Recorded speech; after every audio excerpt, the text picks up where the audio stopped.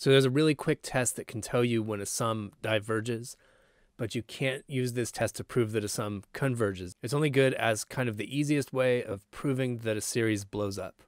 And here's the motivation for it.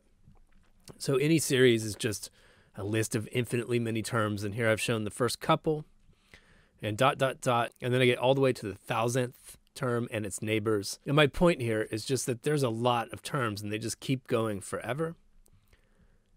If you want this to add up to some finite number in the end, these better be getting really, really small. In other words, they have to approach zero. Otherwise, you're adding a finite number infinitely many times and the thing is going to blow up. Okay, so I could say the a k's or the a n's better be approaching zero as k or n approaches infinity. There's a quick proof of this that I thought was worth including.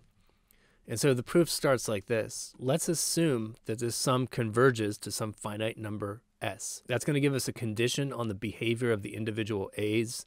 In particular, I want to show that they go to zero as k goes to infinity. In terms of our mathematical approach to it, what I'm going to do is say, well, look at my kth partial sum.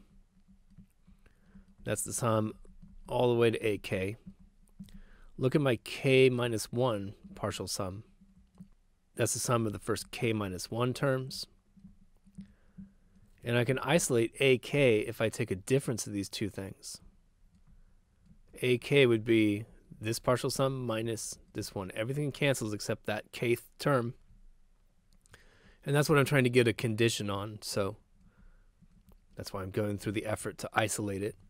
And what I want to find out is what's the limit as k goes to infinity of ak. And that's going to be the limit as k goes to infinity of my kth partial sum minus limit as k goes to infinity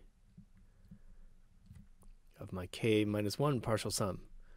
Well, the limit of a sequence of partial sums for this series is going to be equal to the sum of the series if it's convergent, and it is convergent. So I'm going to get s minus s. It doesn't matter that there's a k minus 1 here. That subscript is still going to infinity, so I'm still going to get the sum.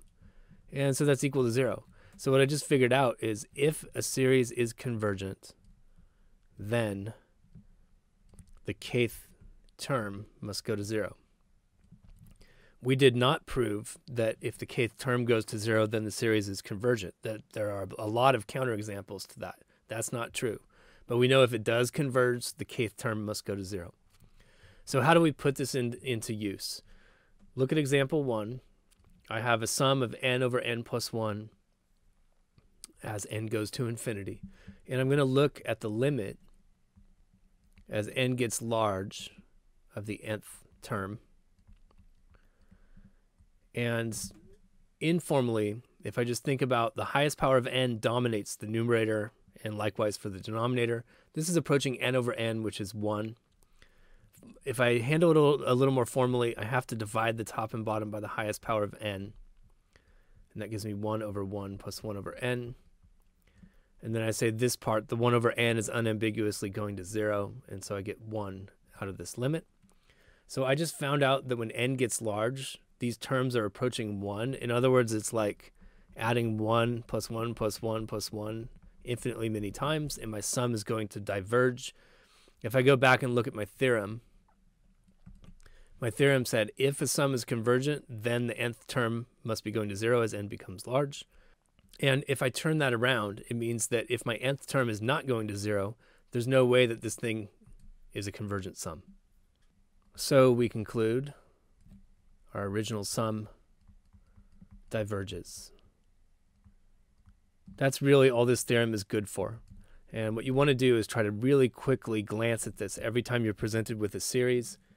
Are the terms actually going to zero? If they're not even going to zero as n becomes large, there's no hope of convergence. All right, how about the next one? The nth term is clearly going to zero as n becomes large. If I write it more formally, the limit as n goes to infinity of 1 over n is equal to zero. But the point on this one is that doesn't prove that the sum converges. It just we just failed to prove that it diverges by this particular test. So does not prove convergence. We just failed by this particular test to prove that it diverges. Now, in fact, this series does diverge. This is a special series called the harmonic series. And the way I'm going to prove that it diverges in a couple videos is by using what's called the integral test.